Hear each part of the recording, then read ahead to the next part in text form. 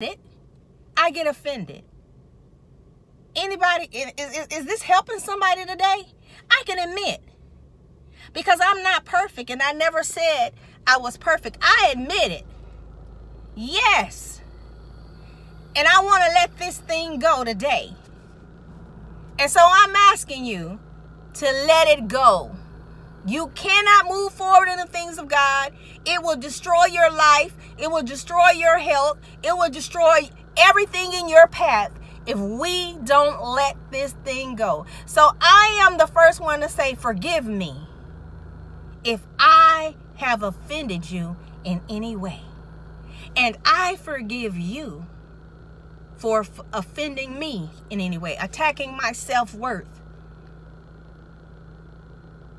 See, what the great thing about that is, I know my self worth. I know my self worth. And I